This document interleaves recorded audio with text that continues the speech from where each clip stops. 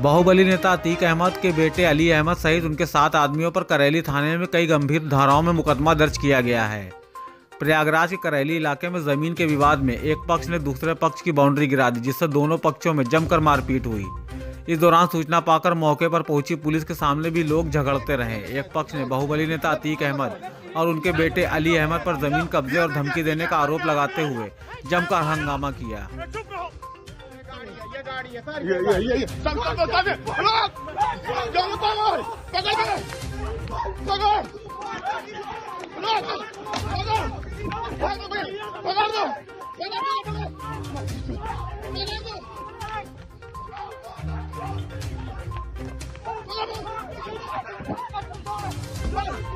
Very good.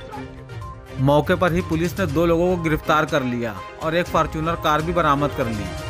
Police ने खुलदाबाद के चकिया निवासी जिशान की तहरीर पर पूर्व सांसद अतीक अहमद के बेटे अली और असाद सहित सात लोगों के खिलाफ गंभीर धाराओं में मुकदमा दर्ज कराया है। जिशान की तहरीर के मुताबिक, अतीक अहमद ने फ़ोन पर उसका प्लाट उनके नाम करने को कहा और नहीं करने पर जान से मारने की धमकी दी। पुलिस अब जाँच कर रही है। दरअसल दूसरा पक्ष भी पहले अतीक का करीबी बताया जा रहा है।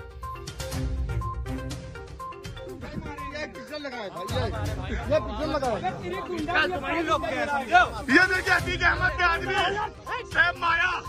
चुप रहो। सर, पहले अंदर देखिए, उसकी स्थिति देखिए। गाड़ी सर। तो देखिए। निपट लिए होते। नहीं, सर, आप करिए।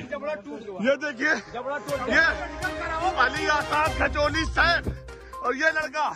इन लोगों ने देखिए जबड़ा टोट डाया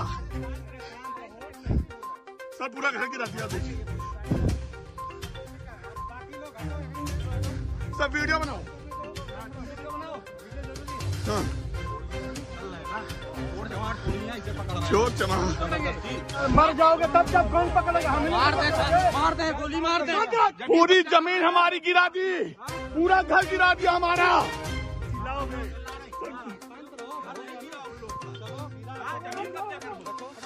वहाँ बात दादागिरी बताओ वो तो सड़ रहा है तमीज से ले